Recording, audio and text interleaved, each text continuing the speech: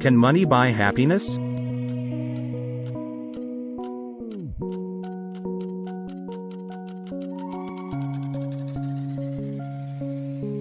Yes, money can buy happiness, you just need to give it away.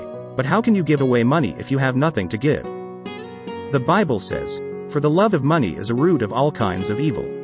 Some people, eager for money, have wandered from the faith and pierced themselves with many griefs.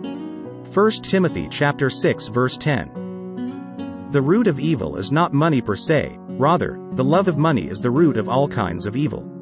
Therefore, one should not love it, instead, divert the love to help others in need, and be eager to support it.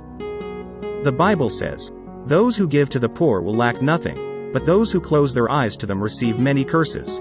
Proverbs chapter 28 verse 27. Anyone who does not provide for their relatives, and especially for their own household, has denied the faith and is worse than an unbeliever. 1 Timothy chapter 5 verse 8. But then, how can you give to the poor and provide for the needs of your family if you yourself are lacking? You can't give something which you don't have. You need means and or money to be able to give to the poor and provide for your family. But money should just be a tool, a means to support what you eagerly desire, which is helping others in need. There is happiness in giving, and money can buy this happiness, you just need to give it away. Don't forget to subscribe and hit the bell button for instant notification.